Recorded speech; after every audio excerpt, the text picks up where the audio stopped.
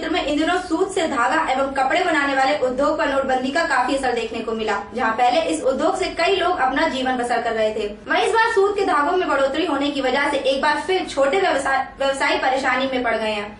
वही यंत्र मार्ग धारक संघ के अध्यक्ष पटेपा गर्णम ने बताया कि सोलापुर में इस उद्योग से जुड़े सत्तर सत्तर से अस्सी हज़ार कामगारों पर नोटबंदी की वजह से और सूत के धागों से 25 से 30 टका बढ़ोतरी होने से काफ़ी परेशान नज़र आ रहे हैं, जिनकी समस्याओं की ओर सरकार का ध्यान दिलाने के लिए एक आंदोलन करने की तैयारी में जुट गए हैं। पेश हमारे सोलापुर के संवाददाता सिकंदर नदाफ की एक खास रिपोर्ट।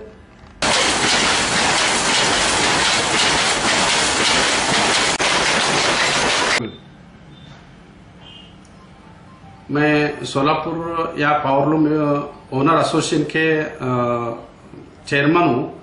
यहाँ सोलापुर में करीबन सिक्सटीन थाउज़ेंड पावरलूम जो प्रोडक्शन होती है, उसमें ज़्यादातर टॉवेल और चद्दर की प्रोडक्शन होती है।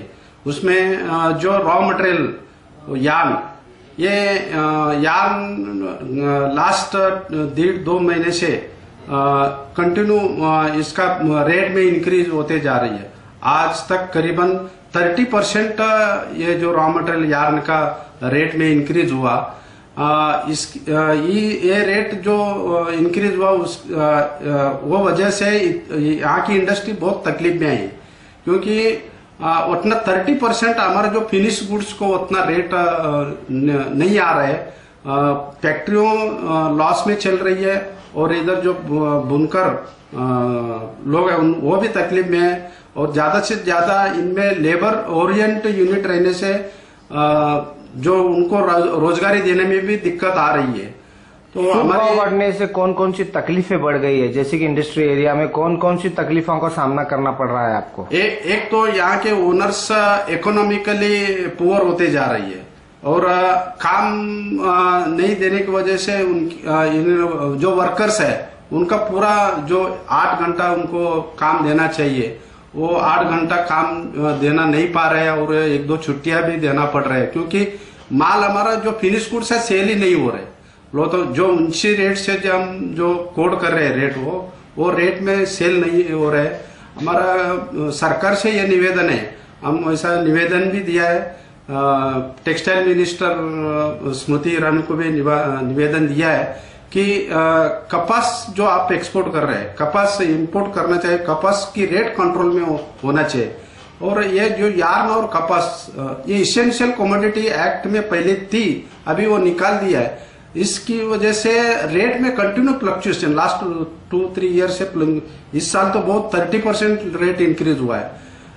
इसमें जो यहाँ के टॉवेल अच्छी तरह से सिक्सटी परसेंट टॉवेल एक्सपोर्ट होती है। करीबन हज़ार करोड़ तक यहाँ की साल में एक्सपोर्ट होती है।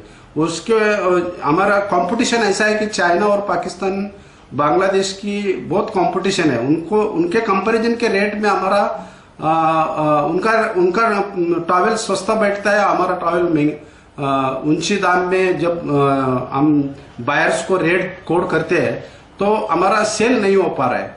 और चाइना का इंपोर्ट भी इंडिया में हो रहा है। उनका उनका टॉवेल या हमारे से भी सस्ता मिलता है।